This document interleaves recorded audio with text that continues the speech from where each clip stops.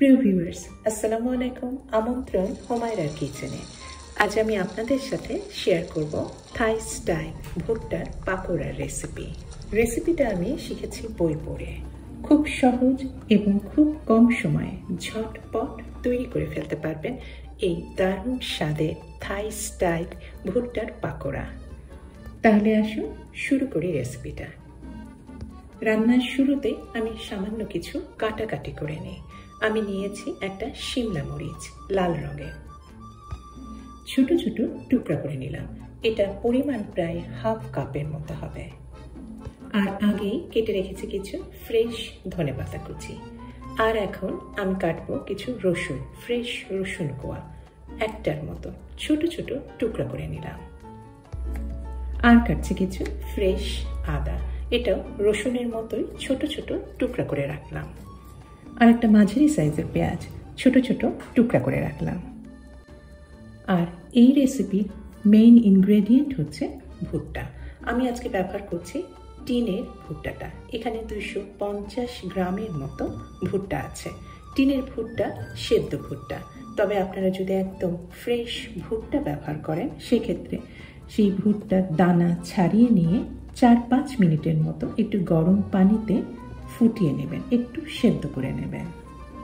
টিনের ভেতরে ভুট্টা পানির ভেতরে রাখা হয়। পানিটা আমি ভালোভাবে ছড়িয়ে নিলাম। মোটামুটি পানি ঝরানো ভুট্টা দুই ভাগে ভাগ করে নিলাম। এর মধ্যে এক ভাগ ভুট্টা আমি গ্রাইন্ডারে খুব ভালো করে মিহি করে গ্রাইন্ড করে নেব। গ্রাইন্ড করার জন্য আমি এখানটায় ব্যবহার করছি কোকোনাট মিল্ক বা নারকেলের দুধ। দুই আড়াই টেবিল চামচের মতো আমি কোকোনাট মিল্ক গ্রাইন্ডারে নিয়ে নিলাম। এখন খুব ভালো করে মিহি করে গ্রাইন্ড করে রাখলাম। কোকোনাট মিল্ক ব্যবহার করার ফলে খাওয়ার সময় কিন্তু কোকোনাটের একটা হালকা সুগন্ধ পাবেন। গ্রাইন্ড করা ভুট্টার মধ্যে এখন মিশাচ্ছি কিছু শুকনা উপকরণ। প্রথমে দিয়েছি এক টেবিল চামচ পরিমাণ ময়দা, তারপরে দিলাম এক টেবিল চামচ পরিমাণ এটা রাইস ফ্লাওয়ার বা চালের আটা। আর সবশেষে দিলাম এক টেবিল চামচ পরিমাণ কর্ন স্টার্চ বা অ্যারারুট আর এর মধ্যে ভেঙে দিলাম একটা ডিম। সমস্ত উপকরণগুলি এখন ভুট্টার গ্রাইন্ড করা ভুট্টার পেস্টের সাথে খুব ভালোভাবে মিশিয়ে রাখছি। এখন কিছু মশলাপাতি মেশাবো। আমি দিয়েছি এক চিমটি পরিমাণ হলুদ গুঁড়া। এটা অপশনাল যদি পছন্দ না করেন বাদ দিতে পারেন। আর দিয়েছি কিছু ক্র্যাশ করে ফ্রেশ গোলমরিচের গুঁড়া। এখন দিয়ে দিলাম ভুট্টার দানাগুলি, যেগুলি আমি গ্রাইন্ড করিনি। শিমলা মরিচের টুকরাগুলি, দিয়েছি কিছু কাঁচা মরিচ। এটা আপনার স্বাদ অনুযায়ী দেবেন। যদি ঝাল বেশি পছন্দ করেন, তাহলে এর পরিমাণ বাড়িয়ে দেবেন। তারপরে রসুন কুচি, আদা কুচি, পেঁয়াজ কুচি, ধনে পাতা কুচি। সমস্ত ইনগ্রেডিয়েন্টগুলি খুব ভালোভাবে মিশিয়ে নিচ্ছি। এখন সিজনিংয়ের জন্য দিয়ে দিচ্ছি এক চা চামচ পরিমাণ এটা ফিশ সস থাই রান্নাগুলিতে কিন্তু ফিশ সসটা খুব বেশি ব্যবহার করা হয়। একটু লবণাক্ত এই সস আপনারা স্বাদ অনুযায়ী দেবেন। একটু বাড়িয়েও দিতে পারেন, অসুবিধা নাই।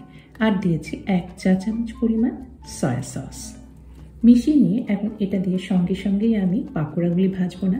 এটা এখন রুম টেম্পারেচারে বা নর্মাল ফ্রিজেও রাখতে পারেন পাঁচ থেকে দশ মিনিটের মতো রেস্টে দশ পনেরো মিনিট হয়ে গিয়েছে, রেস্টে রাখা হয়ে গেল। এখন ভাজবো। তবে ভাজার আগে আমি মিশিয়ে দিচ্ছি আমার স্বাদ অনুযায়ী লবণ। খুব ভালো করে মাখিয়ে নিলাম। এখন ব্যাটার তৈরি পাকোড়া ভাজার জন্য। দশ মিনিট পরে আমি একটা ছোট সসপ্যানে, এটা একটু শ্যালো ফ্রাই হবে, ডুবো তেলও হবে না বা একদম শুকনো শুকনো ভাজা হবে না। এই পরিমাণ তেল দিয়ে আমার পছন্দ মতো সাইজে পাকোড়া যে সাইজের করব, সেই রকম আমি একটা চামচে সেই পরিমাণ ব্যাটারটা নিয়ে নিলাম। তবে তেলে ছাড়ার আগে তেল কিন্তু অবশ্যই ভালোভাবে গরম হতে হবে। ঠান্ডা তেলে কখনোই পাকোড়া ছাড়বেন না। একদিকটা ভালোভাবে লাল লাল করে ভেজে নেব। তবে এখানে একটু বলে রাখি, চুলার আঁচটা অবশ্যই মিডিয়াম থেকে বা মিডিয়াম থেকে একটু লোতে রাখতেও পারেন। একটু সময় নিয়ে একদিকটা ভাজতে হবে। এখানে ডিম দেওয়া হয়েছে, কিছু আটা কর্নস্টার্চ চালের আটা দেওয়া হয়েছে। এগুলি সেদ্ধ বা কুকড হওয়ার জন্য কিছুটা সময় দিতে হবে।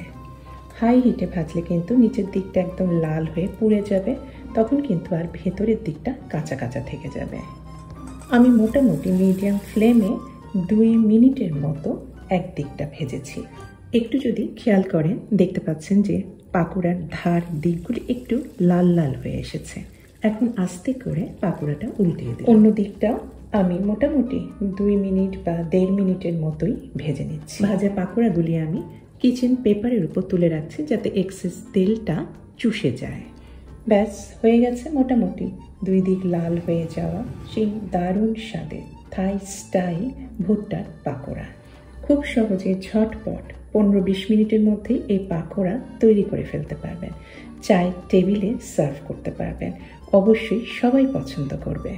আজকে খুব সহজ আর ঝটপট একটা থাই স্টাইল ভুট্টার পাকোড়ার রেসিপি শেয়ার করলাম আপনাদের সাথে। আমার মনে হয় আপনারা সবাই পছন্দ করবে আর পছন্দ করলে অবশ্যই অনুরোধ করব, আমার চ্যানেলকে সাবস্ক্রাইব করে আমার সাথে থাকবেন। আজ তাহলে এখানেই শেষ করছি। সবার সুস্বাস্থ্য আর কল্যাণ কামনা করে আমি হুমায়রা। আল্লাহ হাফেজ